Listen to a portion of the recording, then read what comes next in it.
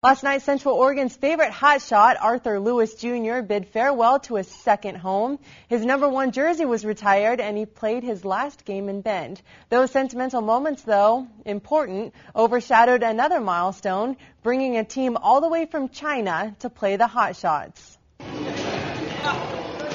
The players look unfazed as they warm up for their game against Central Oregon, but this is likely a first trip to the States for some, and more than a month late. But the International Basketball League's team from China finally made it to Bend. They had some passport issues. It's pretty documented that in China over the last couple months, passport and visa issues have been just terrible. Better late than never, the Shanxi Zhongyu brought a more traditional style of play back to the court, a far cry from the tricks the hotshots like to pull off, but it was still the same game. You know, basketball is basketball. They probably be more fundamental than marketing because, you know, they learn the basics and learn to play the right way from a young age.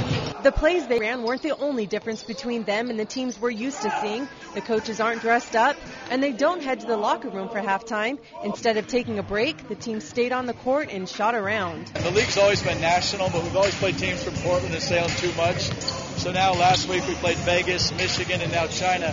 So people from Bend are starting to realize this is a pretty big league. The league includes 16 teams from seven different states, two more from outside the country, China, and a team from Canada.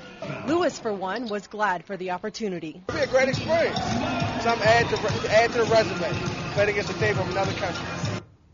And by the way, the Hotshots did win by 31 points last night. Wow.